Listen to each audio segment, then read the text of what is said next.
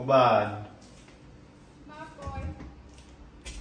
uma ngabhoyi kuphi uma ngabhoyi kuphi Hawu uphi kunjani? umama amambani Hayi kuwukuthi ngiphethe phethe into ey'khala kahle nansi ke yakho. Ngoba angifuni ukuthi kube sengathi angikwenzeli izinto ezinhle. Ukukhala cha amambani uphumaphi Ah. uphumaphi Va- vala la Up- uphumaphi amambani Cha, mina into engiyishoyo ukuthi le eyakho le a- awuzukuyishorisha nami. Eyakho le. So ke manje akusasizi ukuthi lokhu ubuza kubuza ibhasi nespecial ngoba manje mina la lapho bengikhona bengicabanga ukuthi khona ubaba Mambane and ubaba Mambane akanayo i-award yakhe. Manje akusizi ukuthi ngiloko ngithi mina nginama awards awu2 kodwa sibe sishade umshado ohlanganisa amafa.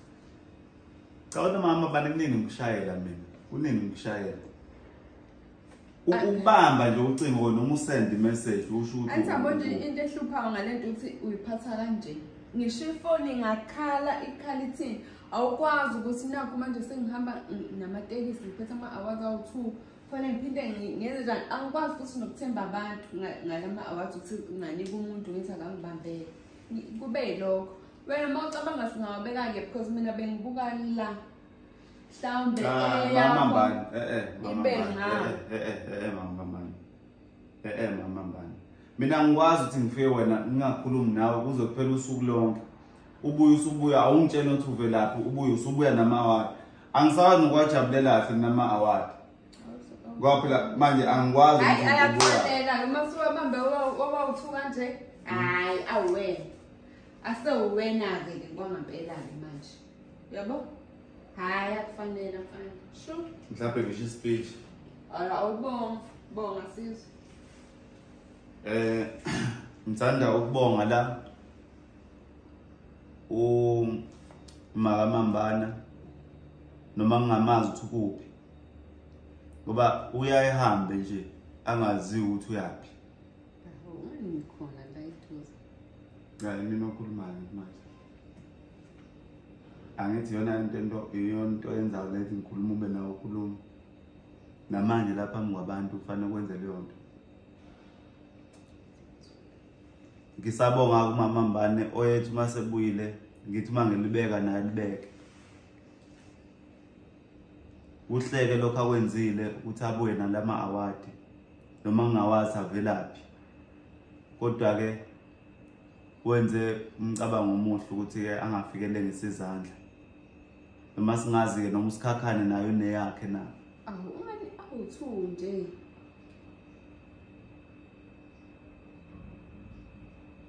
Njengoba ngisasho ukuthi-ke angikwazi ukujabula ngokuphelele ngoba angazi noma sinawo sonke nosikhakhane. Sengivele ngiwabeka manje manje. Usuyangiphuca manje angifuna ukuwabeka ngithe kuwe khetha mina indawo la ufuna ukuthi ahlale khona. Manje ukhuluma ipasi lana ukhuluma special angisazi ngenze njani? Mina ngizothini kubantu abathiphi i-award yami ngizothi ngayibeke lo umama mbani ngayibeke lo nkosikazi. Manje mina yini? Ngathi manje ngingane manje? Eh wena mama yazi ngokufaka i-award lokho. Awumyeke bakithi Wenzani? la uyabona uzobe uqala umuntu onengozi ye-award? Ngokufaka i-award wena. Suka lapho sekuyama ngithi sekuyama Uzo- oh, uzophinda ungilawule futhi uzongilawula futhi. mama mbani uhambela mina ngikwathi ubuyaphi ubuya. La ukunika ama-awadi futhi uyawathatha. Ufuna ukwabeka la kuthanda khona wena.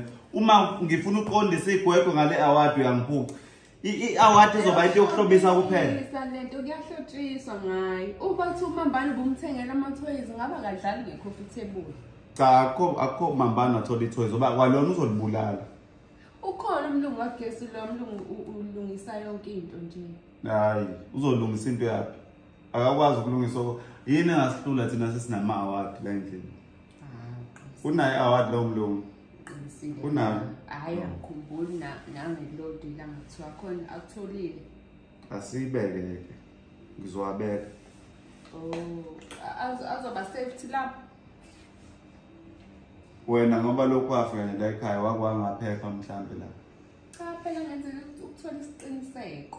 futhi khona into engaphephile like ngoba phela fanele ngihambise umambani base kukhona ama-award nje manje. Umambani asadinge ngempela la ekhaya. Ngoba azolimala la ma-award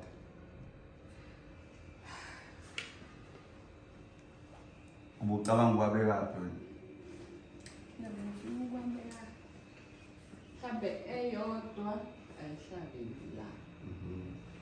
Bese eyodwa kubonakala ukuthi a- ayiyodwa. Into oyitshela ukuthi usayile yakani sekuyile. Sekuyile. Mhm. mina-ke isihlalo sami sizoba la makushuthwa kubonakala ukuthi nansi la. abafuna ukupheka bawayibukwana manje Ubani ngabophelani? Hayi kodwa akusenalutho. Hayi ngisebenzile yazi. hayi usebenzile usebenzile konje uthi ubukuphi